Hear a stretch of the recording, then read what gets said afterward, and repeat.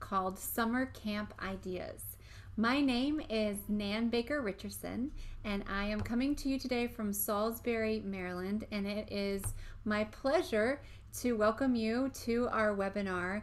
And this is the last webinar in our spring series today. I would like to say a special thank you to our sponsors. We'd like to thank the National Piano Foundation, Music Teachers National Found Music Teachers National Association and also the National Association for Music Merchants for helping us to provide these free webinars across the year. Today we are very fortunate to have three presenters who have been teaching summer camps for some time. We have Lynette Barney from Arizona, Dorla Aparicio from Texas, and also Amy Perdew. This webinar will be recorded and it will be uploaded to pianonet.com. So you're welcome to access it later on today and it will be available to you. The chat will also be available to you. And as our presenters are discussing summer camp ideas, if you have any questions, you feel free to type those into the chat and we will be able to follow up with our presenters as they each finish their portion of today's webinar. So we will go ahead and get started. And our first presenter of the afternoon is Lynette Barney. Lynette, welcome and thank you so much for being with us today. Thanks, Nan. Hi, everybody.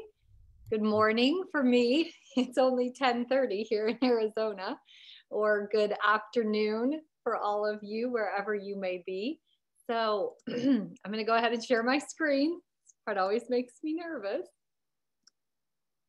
Yay, it worked. Okay, so I'm here in sunny, uh, change that to hot, Tucson, Arizona. And I have been teaching in Tucson for, oh, close to 30 years. I think it's been about 27 years that I've been teaching here. And I currently support my family with my studio. So I have a full time studio. It ranges from infants to adult students, but most of my students are between the ages of like five and 18. I have a handful of adult students. I have a Music Together early childhood music program that's teeny tiny because of the pandemic. I have preschool um, group and kindergarten group lessons, and then my piano uh, teaching structure that's a hybrid of group and um, private lessons that runs during the school year. So I have a lot of students of different ages, and my primary motivations as a teacher are um, creativity and community. So summer camps are an absolutely perfect option to do those things. I am teaching probably 95% of my students in person. My parents overwhelmingly want their kids to be in the studio, the handful of kids still online. Um, so let me tell you a little bit about what I do. It, you might think I'm crazy, but we have a lot of fun. So why would you want to do summer stuff? Well, for a large studio like mine, and it being my only source of income, I need to teach year round. I don't want to teach for 10 months and then, you know, average it over 12. I want the continuous income, but I need a break. And my kids need a break. Everybody needs a break. And so in the summer, I offer very flexible scheduling options, but summer is required I have a year round membership structure. And if you take the summer off, you basically have withdrawn from the studio and you go on the wait list. So I don't require practicing, don't have private lessons unless they pay for them as an add on. But what we do have is we have out of the ordinary, memorable experiences. It's been fun this last week or two as I've been planning this, asking my students, what have your favorites been? So I even know what they are and I ranked them. They also build camaraderie and community. Now, you might not be a fan of feet on your wall, but I love this picture because these kids are connecting. They're having so much fun and they are still friends, even though some of them have moved. Um, so, those are my whys to have amazing experiences that they can talk about which, by the way, they talk about with their friends. And sometimes that builds um, students on my wait list and have, have camaraderie and community.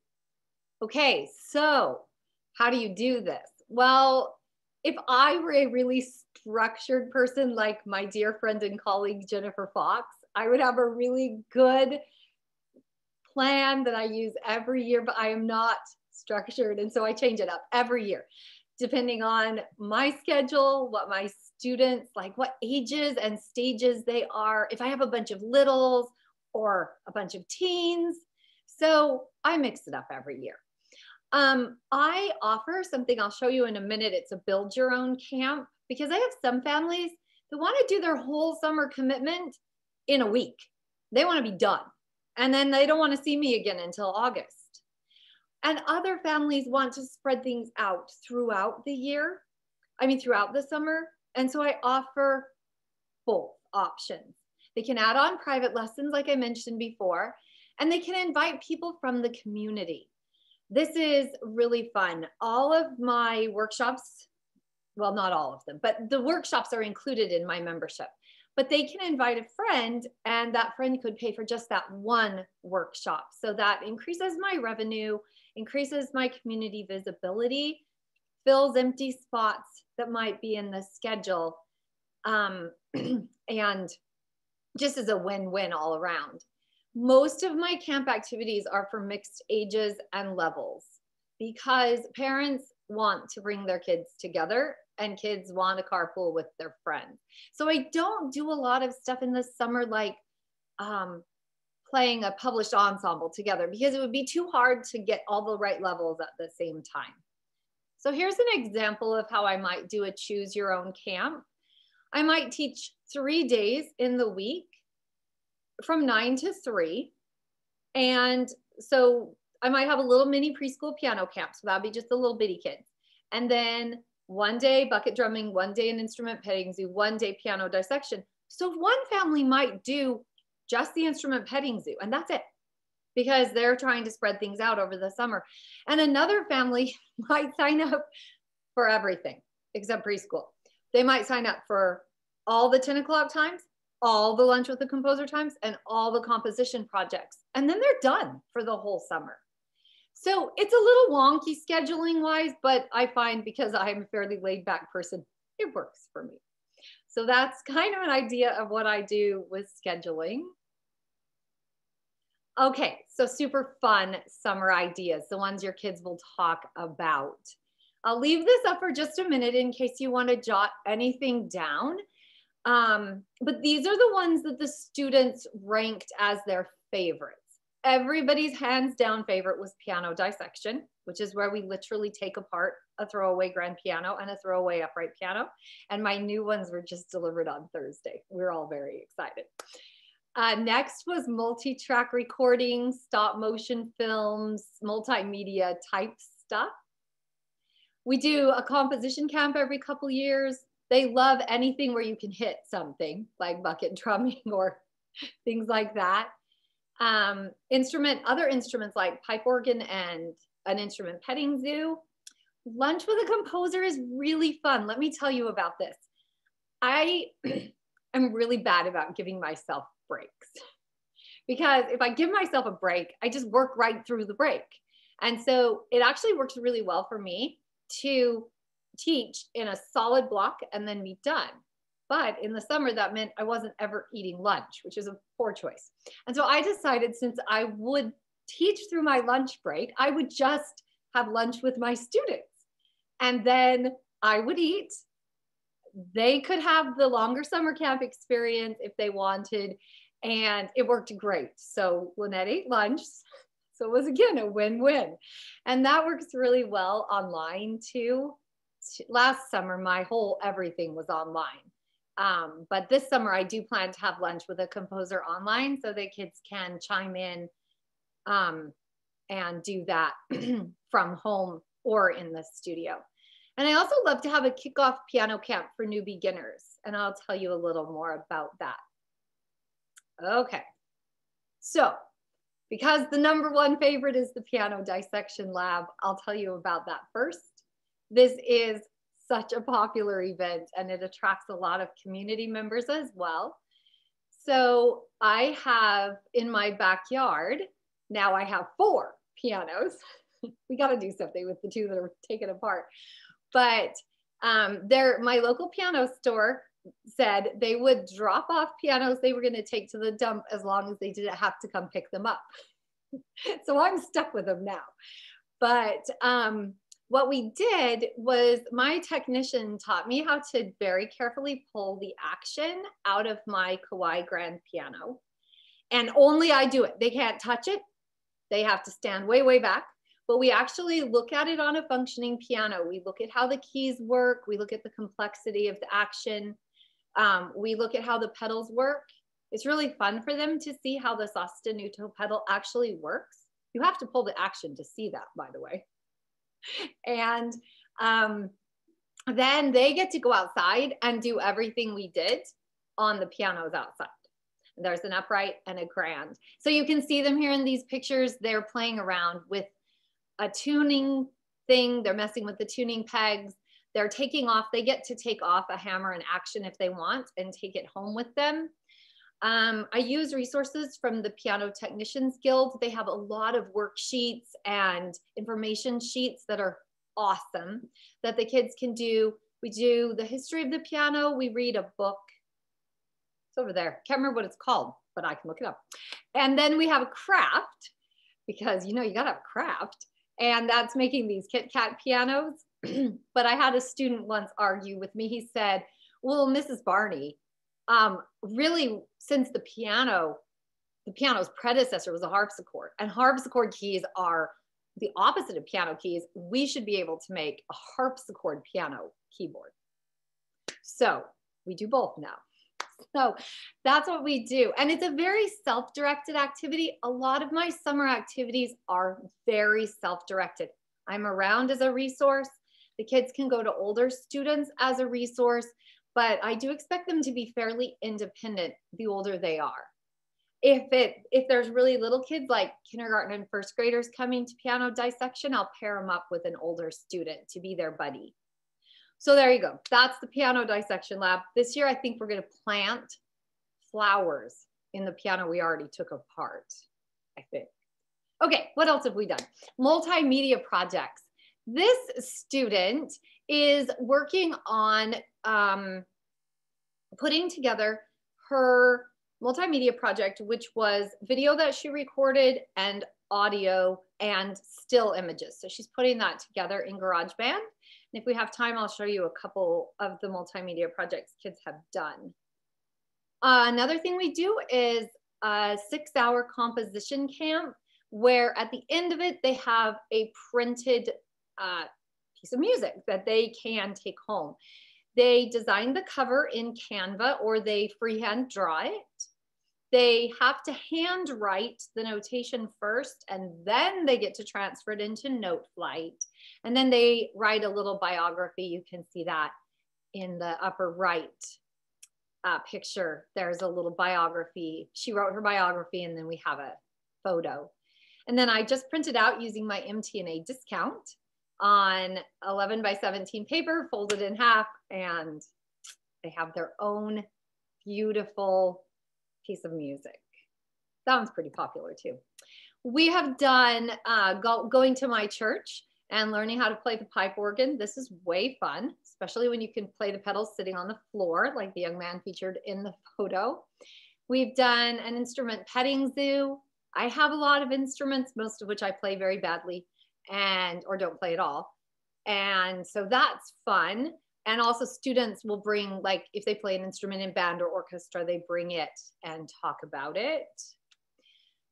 These are pictures from one of my beginning piano camps. I love doing these because they learn so much.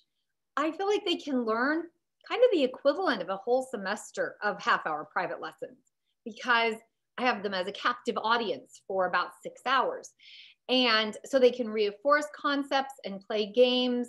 Here you can see they have made, it's kind of hard to see, they're kind of small. They've made conducting batons out of pretzels and chocolate, and they are practicing conducting each other. They're short. this was a young group.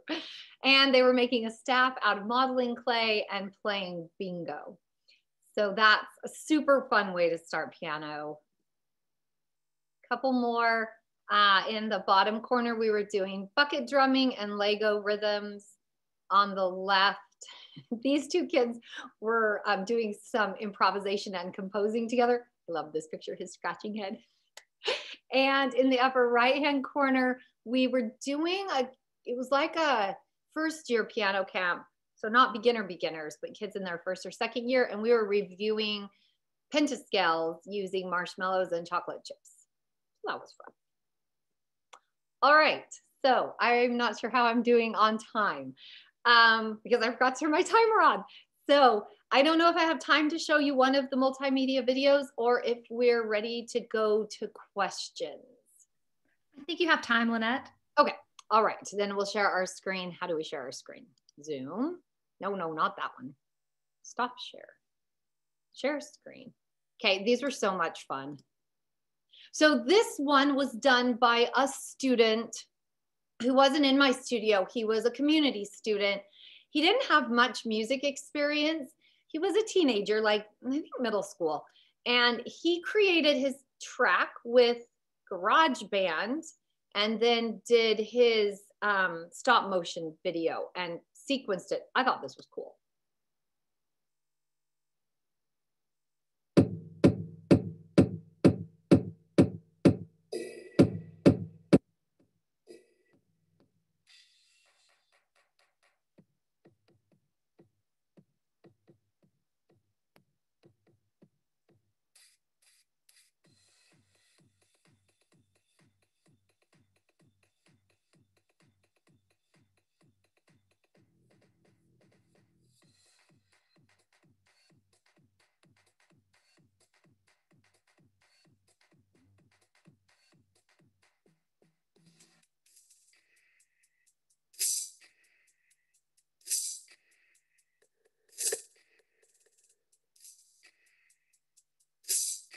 Okay, I should have made that full screen, but I forgot.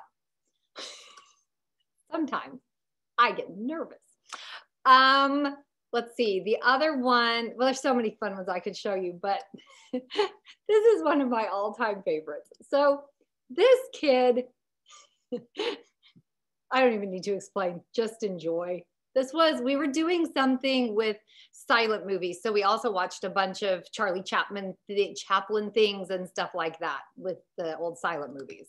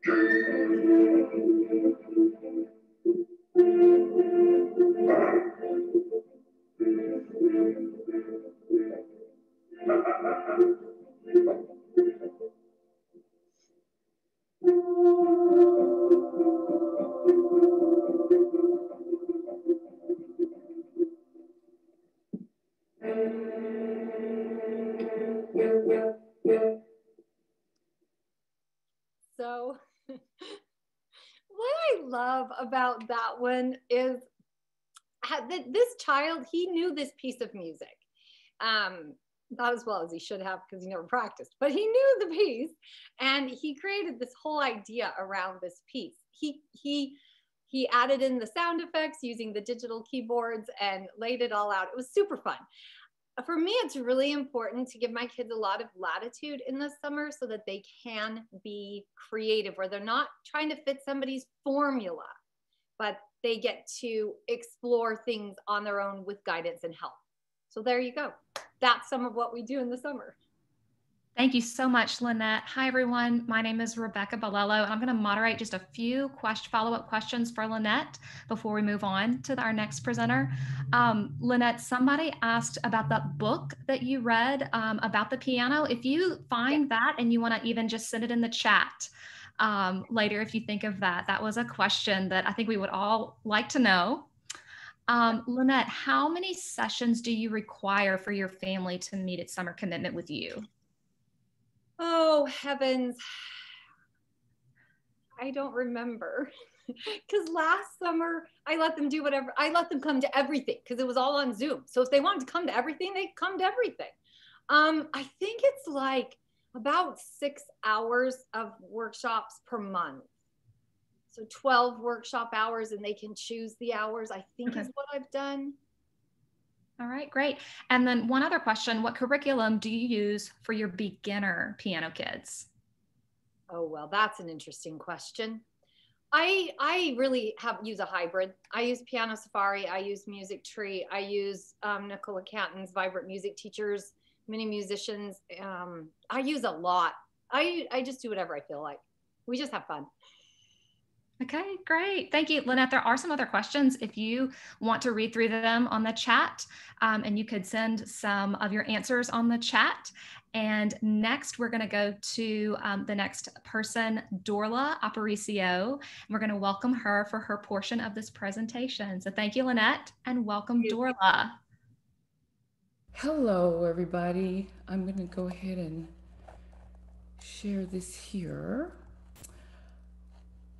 Oh, just a minute, please. Okay. I hope you can see that okay. Um, all right. So I am going to talk to you a little bit about summer music camps that you can use for any instrument. I am a piano teacher in Texas, and I mainly teach group piano lessons and a few uh, private lessons. But I love talking to teachers about group piano and about piano camps. What I'm going to give you today is information you can use right away for any instrument that you are teaching.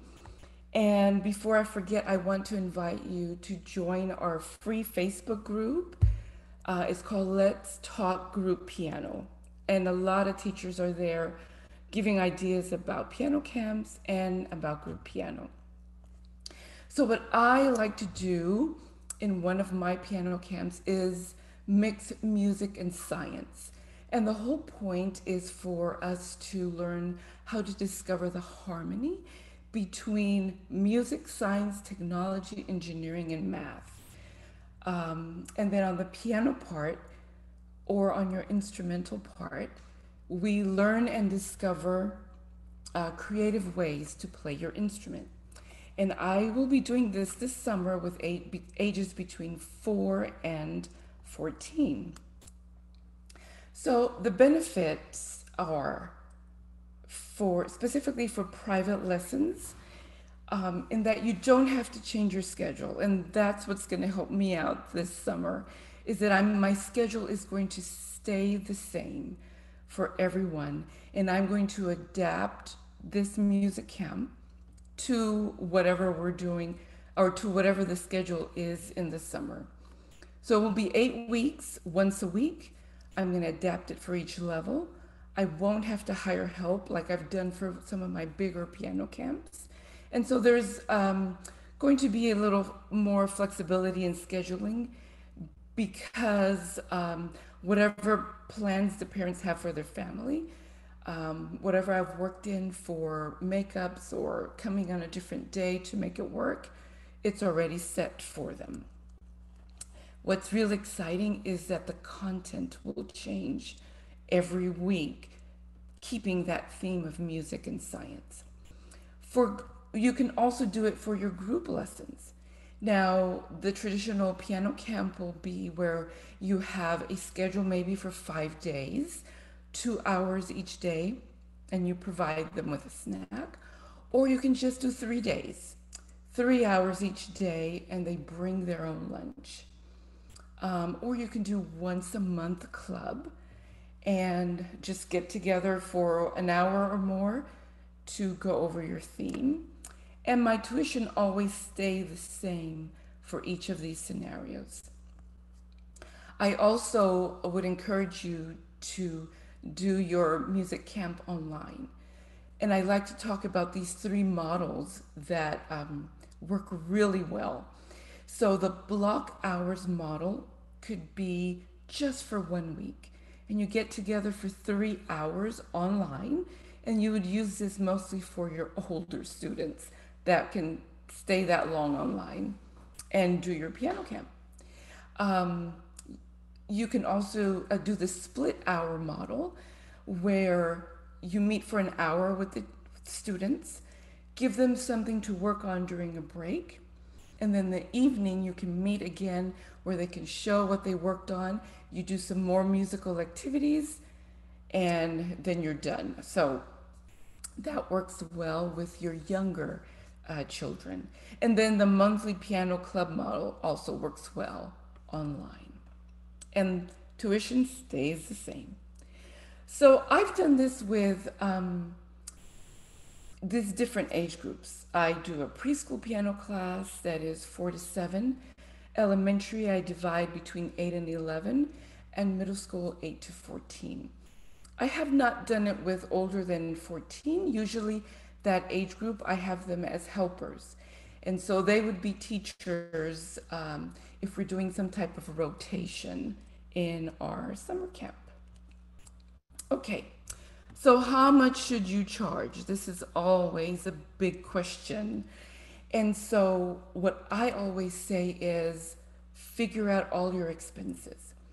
Maybe if you have to pay rent, or if you have to um, pay for help, um, if you're buying a curriculum, if you're not creating it yourself, how much will it cost? And if there are any additional materials that you will need, are you providing snacks? All of that you'll have to take into account. Um, and then number two is do you want to volunteer or do you want to make a profit? Um, a lot of times we end up thinking we're making a profit, but really we're just being volunteers volunteering our time and our knowledge. So decide that up front, what you want to do. What I do is I charge the same rate as regular tuition. So just like Lynette, I have a, um, a type of a membership, or I call it all inclusive. So my families play the same and pay the same amount every month. So in the summer, that I already know how much they're going to pay. They're required to come for the whole summer. Um, if it's a one week piano camp, that would cover one month of their tuition for one week of activities. Um, as I mentioned before, this week, th- I'm sorry, this summer we're doing the same come once a week like you normally do. And um, I have a free piano camp budget planner for you. So if you just go to my website, missdorla.com, you'll see on the, the free resources, you can just download it and it breaks down for you what things you need to think about and how to um, increase that, how many students you need in order to make a profit, if that's what you want. Marketing. I'm so terrible at marketing. I always forget. I just started talking about my summer program yesterday because I was making these slides and I thought, oh no, I haven't been doing what I always suggest to do. So I know how that is, but this is how we will spread the word. Start today. Tell everyone in your social media, in your emails, start doing that. In the reminders the students get for weekly lessons, put in a little note to remind them what's going on. Just get a little buzz going in your studio. I use my piano camps for retention. So if you needed to bring in new students, you have to do even more. And then word of mouth is like the best and it's free. So start doing that now. Okay, so how are you going to mix music and science for the lessons? So I know some of you are thinking, I science, I'm not a science teacher, I can't do this. But yes, you can, and it's a lot of fun. So here's how I've related music to science. We talk about the water cycle. What, what, what in the water cycle? Well, there's patterns in the water cycle, and there's patterns in music. Electricity, make a new invention. Show how electricity can work with music, and one of the best ways is making a banana piano. Uh, some of you have already used a makey makey before, and that's what I use. It's always awesome to do that. Sound waves. Um, if you're using a grand piano, you can look inside the piano and see the vibrations, but also um, learn about how the vocal cords vibrate to make the sound, how our eardrums, and there's videos on this and um, just different ways that they can learn, oh, this is all related of how we listen, how we make music. Math, oh, there's intervals, there's well-tempered um, instruments, all of that. And then there's different uh, math equations that are very simple for you to learn how to do, but also to share with your students.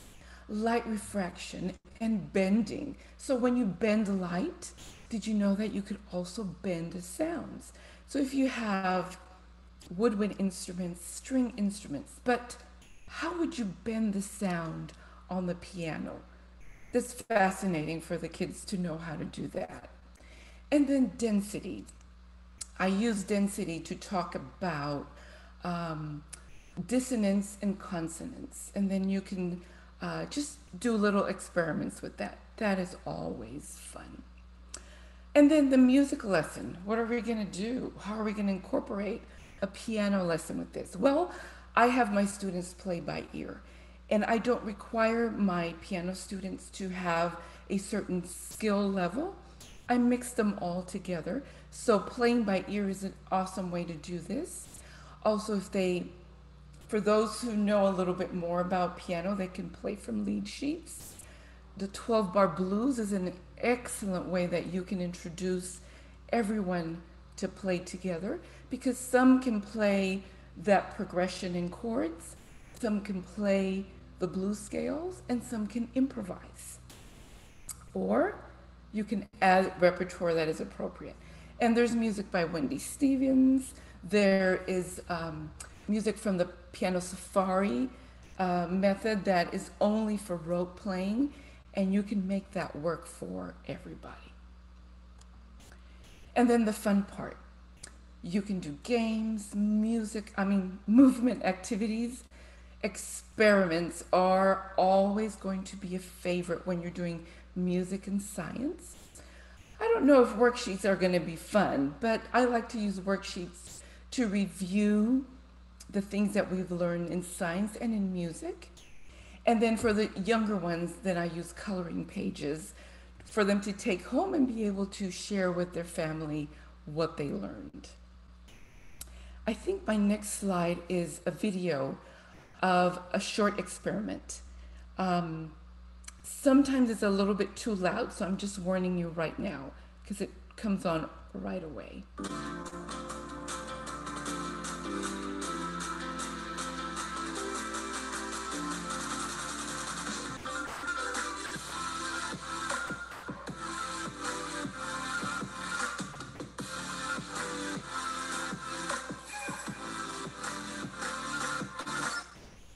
Okay, just a little snippet of this soft explosion. It looks very simple, and it is simple to do. You just need hydrogen peroxide, dish soap, and yeast. We did this with a lesson on dynamics, but you can just imagine if the kids are not really sure what's going to happen, and you go through the process of telling them what to do, what to pour, and you've already made that, um, learned that concept of dynamics, going from quiet to loud, doing a crescendo or a diminuendo, and then you do this, you can just imagine. They are so excited to do this. And this is very simple to do. The experiments that you um, incorporate do not have to be difficult. And these are things that we all probably have at home. All right. So, how do I do this in a 30 minute private lesson? And um, planning, you have to plan everything. So, choose your experiments, gather your materials, have everything ready. And your worksheets and games and videos, make sure you know exactly what you're going to do. And so, here you see I've listed you want to do your science lesson, your music lesson, your experiment, and then choose either game, video, or worksheet. And that is how you'll make it fit for your 30 minute private lesson. If you're doing 90 minutes or more for a group lesson, either online or in person, you can do all of this. You'll have enough time, okay? Now, if you're doing it online, you're going to want to prepare uh, your piano camp box. So you'll have to go through your activities and see what will work best for them to have at home already. And you send that to them in a package. And then when you get together online, then they already have those things ready. Also, send a list to the parents so they can know what household items they will need to have besides the piano or the instrument. And that always helps to keep everything organized for your online lesson. So, I have another resource for you if you are barely now planning what you're going to do for piano camp or for your music camp, it doesn't have to be for piano. I have a 30 day plan to piano camp. It's free on my website, and that will take you day by day to help you plan with marketing, with getting your curriculum ready from day 30 to day one of your piano camp. And I believe that is all that I have. Um, if there are any questions, I'd be happy to share. Thanks, Miss Doyle. That was really great. Lots of fun ideas, and I think the um, inclusion of science is wonderful for for summer ideas.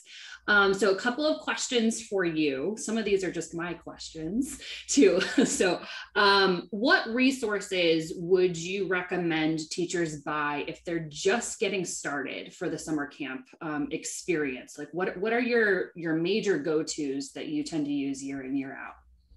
Oh good question. And um, i'm a little biased here because I do have piano camps that I have created and that I have for sale. So I have um, Under the Sea piano camp that is for preschool. I have a musical STEM piano camp that is for ages 7 through 11. And everything that I've talked about here is already um, planned out for you with all the materials and everything.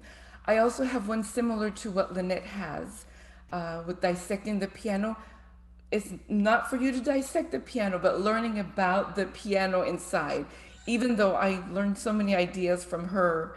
Um, but those are the resources that I use. And what I found is that um, I use them over and over again. So this music and science, the musical STEM one, I used three or four years ago. And I'm bringing him back, and the kids are like, oh, I remember. So we do it over again. So that's always fun.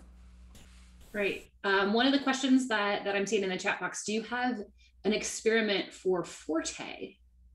For Forte, oh, I can't remember all of the all the experiments we do, but um, I, I I don't I don't not not that I that comes to mind right now.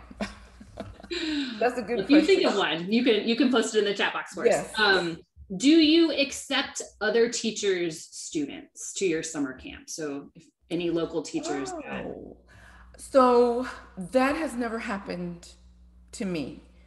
Because i do not advertise um, locally or even in my city at all because my piano camps are for i use them primarily for retention. So if students bring friends in that's okay but i've never had that. Um, I don't I don't know if I I think I would um, because I am not teaching them really like a certain method. We're doing stuff that you normally don't do during the school year. So yes. Great, thank you. And one last one for you before we move on to our next presenter. When you are doing your online camps, mm-hmm. what are your expectations for parent participation, especially when we are doing experiments? Yes. So I craft a whole um, email for them so they can know what I expect from them. And one of them is to be in the in the same how about being at home and with an earshot in case there is anything um, they need to do with the uh, the digital part of it. The experiments the experiments that we do are very very low key. Um, that the children are not going to get cut or burn or anything like that. So, you know, as long as the parent is close by, it's going to be okay. Great. Thanks, Ms. Dorla. There are a couple of other questions in the chat box if you are willing to go through and answer those for us. That okay. awesome. Right. And with that, I'm going to pass it off to our next fabulous presenter, Miss Amy.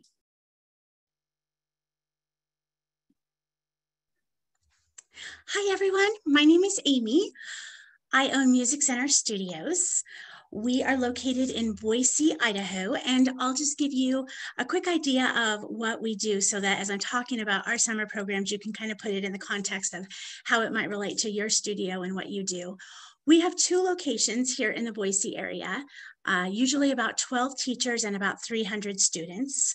So um, a little bit on the larger side, maybe, you know, if you're teaching out of your home with 20 or 30 kids, um, some of what I say might be a little bit different for you and your um, circumstances. So we offer Kindermusik classes. So that's our baby and toddler program for newborns through about the age of four. And then we use Alfred's Music for Little Mozarts for our preschoolers. So that's our four to six year old program. And after that, we move into piano, guitar, violin, voice, um, all of those lessons. And then we also enjoy our adult students. And I feel like adults always kind of a broad word. We like to group our adults ideally when we have enough to have groups of like 20 to 30 year olds, and then maybe like moms groups or retiree groups. So adults, but still still kind of, you know, broken up into different age groups. And we are primarily a group lesson studio. So um, we all of those you know obviously Kindermusik is a, a group uh, setting but our piano lessons our guitar violin voice all of that are adults we love to group our students that way and um, a lot of our lessons too, I would say, are on the recreational music making side, uh, where that's definitely a focus of our studio. So the way we format it is each of our, for piano, each of our teaching rooms has five pianos in it.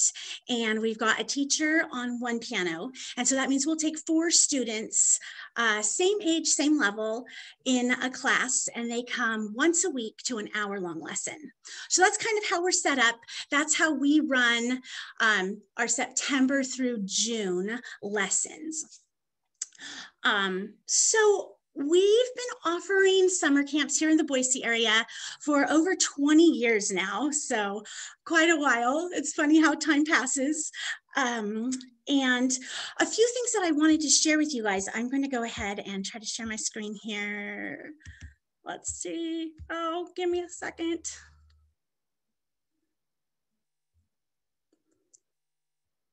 Hold on one sec. Here we go.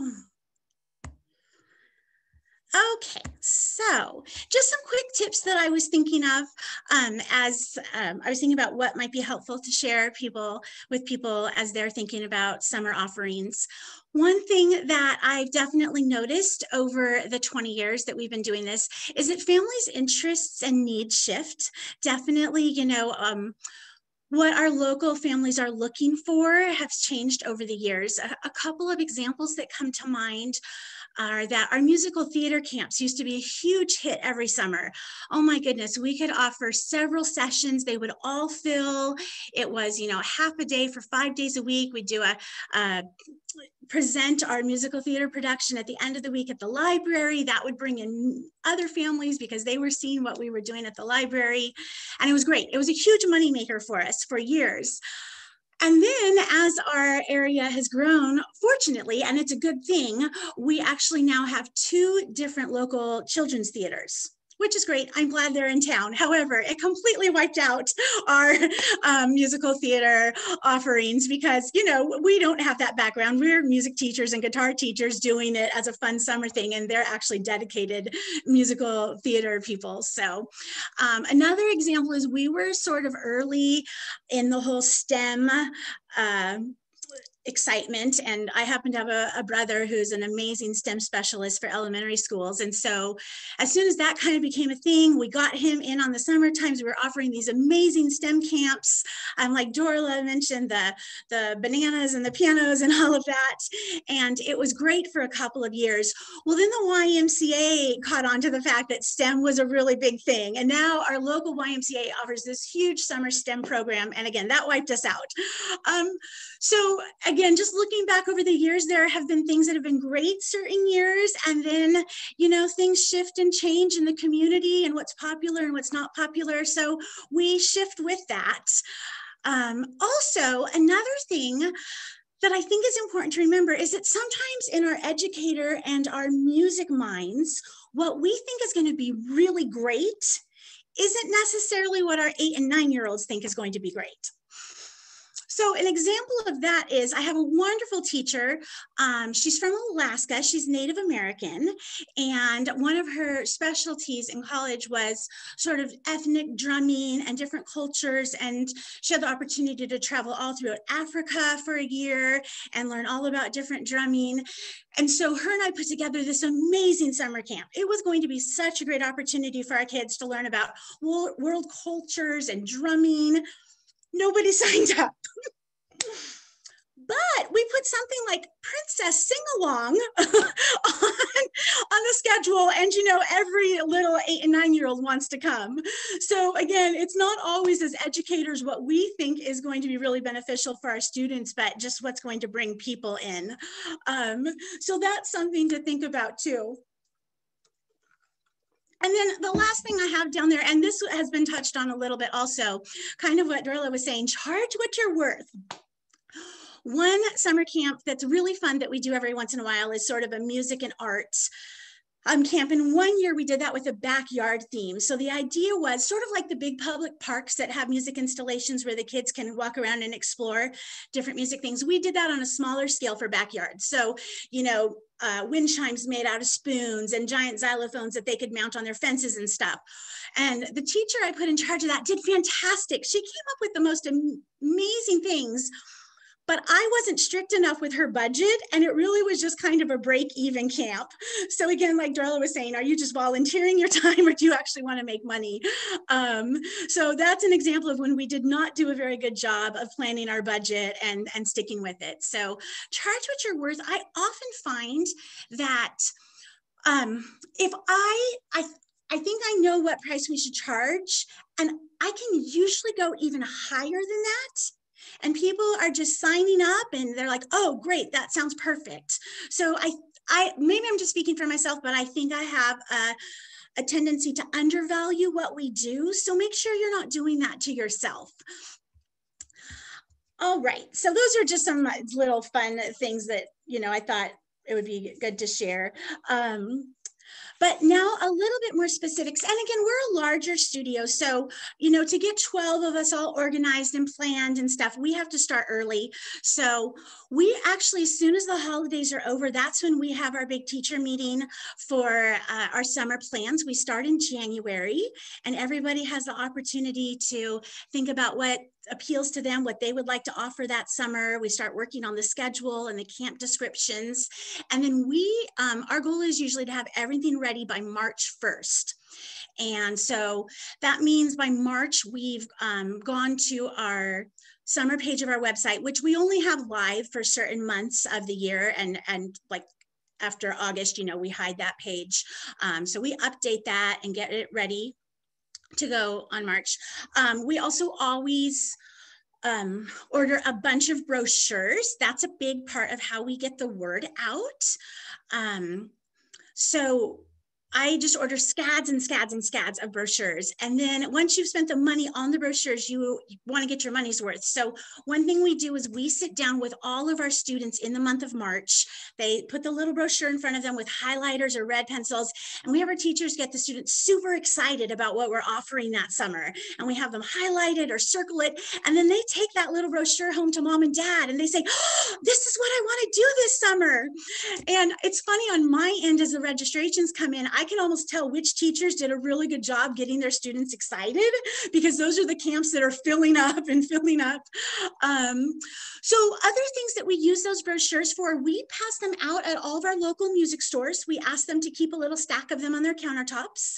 We have good relationships with some of our local elementary schools. So, um, and some of the music teachers within those elementary schools. So we ask them to keep um, handfuls of those uh, laying around for when people are asking them we have good relationships with several of the other businesses in our shopping center that we're in. So we'll kind of trade, you know, oh, I, I go to the bakery that everybody in town loves and they give me some of their coupons and I give them some of our brochures, that kind of a thing. Um, so yeah, we just, once we've paid for those brochures and we order, like I said, lots and lots and lots of them, we try to get them all out around town. Um, our website gets a fair amount of traffic, so we're lucky to bring in people that way. And you're welcome to go to our website. It's musiccenterstudios.com, and you can just click on our summer page there and see the different things that we're offering this summer we use social media a lot and that's kind of interesting because in years past like i said looking back you know over 20 years we used to spend quite a bit of money on print advertising. So things like our local parents guides and and local little you know parent magazines and stuff we really don't spend money like that anymore to get the word out because now we have got so many different ways to distribute that information for free. So certainly things like the Nextdoor app we use Hulafrog sometimes and of course you know things like Facebook and Instagram. And then we also are lucky we've been sending out monthly newsletters you know for over a decade. And so the amount of people that's on that newsletter list is is very large now. And it's always funny you know you get a registration come in from a family you had eight years ago but in the meantime they've had more kids or something. And, and you didn't even realize they've still been reading your newsletter all these years. But uh, that can be a great way to bring um, people back into and then of course referrals. That's our favorite right?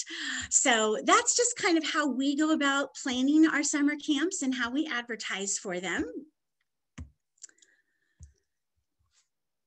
Here's just a few fun ideas of things that we've done over the years. Um, we like to bring in guest teachers sometimes, so that can be really fun. Musical theater, like I said, was, was really big for us for a couple of years. Um, Noteworthy is a fantastic camp that we offer every year. The students actually do not play any instruments in that camp. We just strictly work on note reading. That one's wonderful. Um, we always offer a band jam and we make that kind of special by just um, offering it to our older students our teenagers and middle schoolers so the young kids kind of get excited for when it's their turn to get to come to band camp um, musical escape room is one we've been having a lot of fun with for the past couple years and then we really like to bring in new students during the summertime. So Beginner Bonanza is a camp that we've developed. That's a really big one for us. Here's just some pictures. Um, this is when we used to do musical theater. And you can see it was very just you know sort of homemade. Um, uh, you can see why now that we actually have uh, children's theaters here in town that um, they've taken that over. But i wanted to share with uh, you about our beginner bonanza camps. We decided to go with a superhero theme. And our kiddos come and they get a little binder like this and basically, I was tired of, you know, starting kids for a couple weeks in a Faber primer or an Alfred primer, but then September would come. And because we're group lessons, they might have new kids in their groups. And then how did I take the kids that had already had some summer lessons and put them in with the new kids? So we just wrote a fairly simple, like little six week curriculum it covers all of the sort of black key, finger number, high, low, loud, soft type of things that you want beginners to start learning. Um, the songs are super simple. Like I said, they're just black key songs. They all have this little superhero theme. Um, we incorporate cute little games. It's super easy on like Oriental Trading Company. You can buy these little masks that the kids get to color one day, or they can just simply use popsicle sticks to make little superhero puppets. So simple things, but it's super fun and the kids love it. So then they've had this great six week introduction we get them super excited. So they think piano is just, and actually I say piano because I'm a piano teacher, but we offer this for guitar and violin also.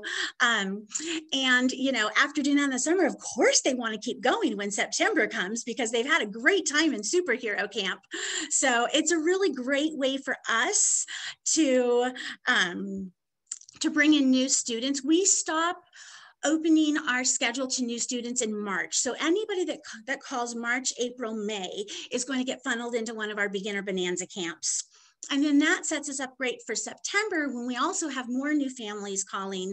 Um, we can incorporate those beginner bonanza kids in with the new kids and that gives us a great start to September.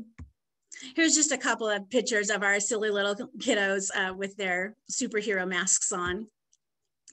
And these are some of our kids in noteworthy camps. So this is the one where they don't actually play the piano at all. They're just working on note reading skills. We, we start and we give them a quiz at the beginning of the camp and they get a score for how many flashcards they could answer.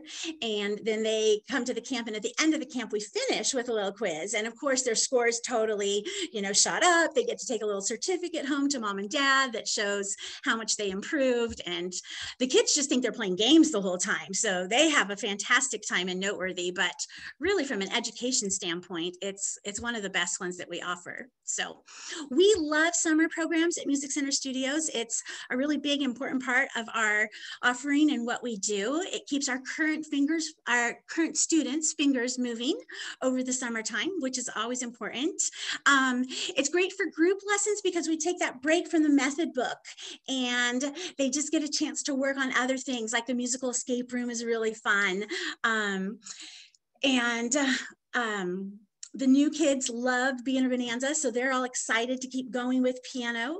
And for us, because we have two different commercial locations that we're having to pay rent for, obviously that's a super important part of summer programs for us. And then it just gives us a chance to do fun things outside of the method books. So yeah, we love summer camps at Music Center Studios. Thank you so much, Amy, for just great ideas. Um, we're just right at the end for today. I'm going to pull maybe one or two quick questions from the chat. Um, do you have an example of your musical escape room or maybe a resource or a website for that? Anything? Yeah. Anything? I don't. It's just all things that we came up with. Um, so we, we purchased a bunch of little fedora hats and magnifying glasses and um, uh, what's it called? Invisible ink pens. Uh, we we found little decoders. And so we've kind of created this whole script of there's this mystery that the kids need to solve but they have to learn their song perfectly to earn their next clue to go to the next level. But it's all just stuff that we've kind of come up with. So i don't have any resources to share for that. I'm sorry That's okay. That has actually been a theme from all three of our presenters today that I've noticed that a lot of your camps, it's uh, things that everyone has created, um, which is which is interesting. All right, Amy, one last question. How do you distribute your newsletter? Is it an email or by email? Yes, yeah, we use Mailchimp. Um, so we've been using that for years, and and like I said, that list, you know, of subscribers has just gotten really large over the years. So Mailchimp works well for us. Great. Thank you so much. Thank you to our three fabulous presenters today, Amy and Dorla and Lynette. Thank you so much for being here today. I'm going to pass this off to Richard Rahino, who will close our session for today. Thank you, Rebecca. And uh, thank you everyone for being here today. What a great exchange of ideas. I'm just struck by the openness and the generosity of today's speakers and all our speakers uh, to be uh, so giving of their time and talent, their resources, and everything that they do in their studios. So I want to thank uh, our speakers today, as well as all of our speakers that we've had all year, uh, for really helping us launch a, a really great set of webinars. Um, and which brings me to the point that um, you know these webinars were or are brought to you by the National Piano Foundation in partnership with MTNA, and we are grateful to MTNA for helping us um, get our information out and for being able to invite uh, the MTNA membership. So thank you to them. Also, I want to thank NAMM, the National Association for Music Merchants, uh, who helps us with our funding. Um, we apply to them every year for grants that allows us to put on these webinars, to offer scholarships to the RMM track at uh, MTNA Pedagogy Saturday, and to do other things uh, that, to help raise public awareness of music education through the piano and the keyboard. So a big thank you to them. And I also want to thank uh, uh, our committee, uh, Nan, Rebecca, and Emily, who worked hard all year, uh, not only to bring and put together these webinars, but also the RMM track, uh, which was, a, uh, I don't know how many of you have had a chance to see it, but it's really another testament to their commitment to bringing you the best speakers and content regarding RMM. So thank you to them. Um, and lastly, I want to say that um, I hope you all will keep an eye out for the fall. We're going to continue these uh, webinars into the fall of this year and the spring of 2022. And uh, hope that you continue to find value in what we bring you. So with that, I want to wish all of you a great summer. And I hope your students and continue to flourish and that you all have time for a little break and that uh, relief from the pandemic is is not too far off. So thank you so much and we'll see you next time. Bye-bye.